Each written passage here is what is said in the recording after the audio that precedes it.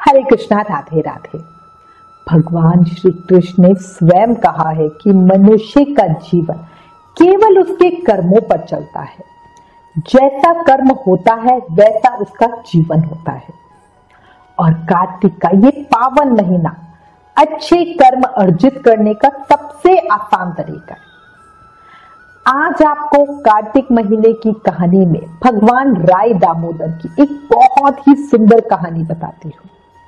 प्रेम से, मन से, भाव से सुनना एक समय की बात है, एक छोटी सी लड़की थी, जो कार्तिक स्नान करती थी।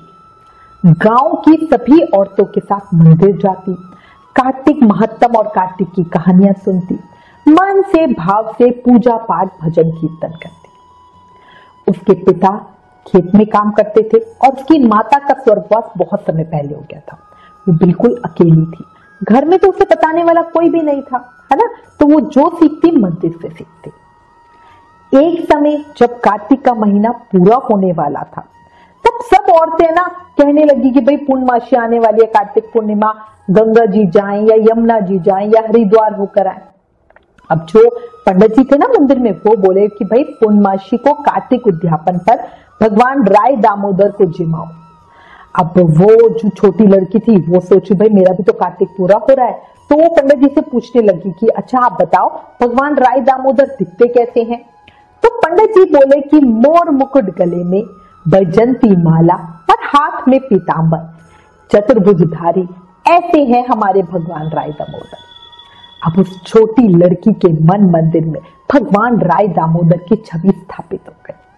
तो हर समय उनके बारे में सोचने लगी। धीरे धीरे समय बीता पूर्णमाशी का दिन आया। उसने भगवान राय दामोदर को जिमाने के लिए बढ़िया रसोई बनाई, अपने छोटे नन्हे हाथों से, है ना? अकेली बनाना ये भी बहुत बड़ी चीज़ है। अब वो भगवान को बुलाने के लिए मंदिर में गई और बोली, आओ मेरे भगवान, आओ मेरे घर, बढ़िया जीमो खाना खाओ। बहुत देर वहाँ लगाती रही, कोई नहीं आया। अब उसने सोचा कि मंदिर में भगवान नहीं है, शायद भगवान पूरा दिन मंदिर में बैठे बैठे थक जाते होंगे, इसलिए शायद शहर घूमने गए होंगे। अब वो मंदिर से पैदल पैदल ही शहर पहुँच गई। आवाज़ें लगाने लगी, पर कोई सामने नहीं आया।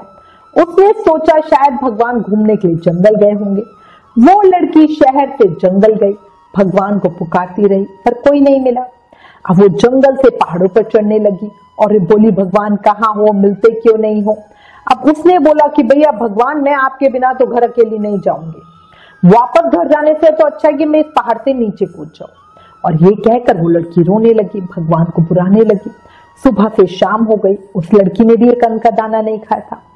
अब भगवान लड़की को पहाड़ पर चढ़ते देखकर सोचने लगे कि भैया, ये तो ऊपर से गिरकर मर जाएगी और मेरे शरीर की हत्या लगेगी।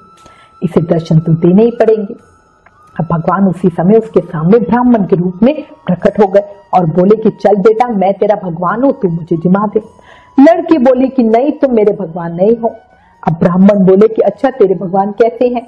उसने कहा, मेरे भगवान तो मोर मुकुट वाले गले में बेजंती माला पहने हुए हाथ में पीताम्बर लिए हुए चतुर्भुजधारी हैं। अब ब्राह्मण बोले अच्छा ऐसे है तेरे भगवान? हाँ ऐसे है मेरे भगवान। अब वो लड़की बोली अब भगवान ने लड़की के सामने अपना चतुर्भुज रूप दिखाया।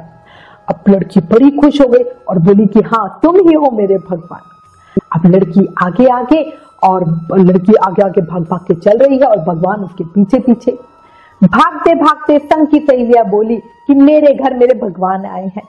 पूरे गाँव में से सिर्फ़ एक औरत को भगवान के दर्शन हुए। क्योंकि देखो भाई, जो सच्चे दिल का होगा, उसे तो भगवान के दर्शन होंगे।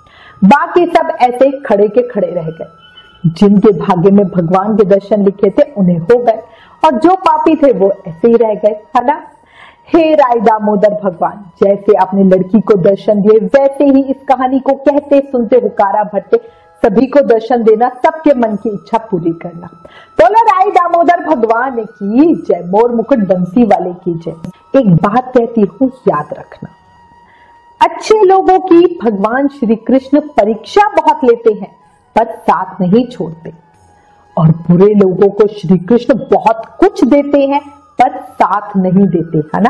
क्योंकि भगवान चाहते हैं कि भाई ये कलयुग में फंसा रहे और मेरे से दूर रहे। अगर आप भी श्री कृष्ण का साथ चाहते हो तो कार्तिक महीने में अधिक से अधिक स्नान, दान, व्रत जाप आदि करो।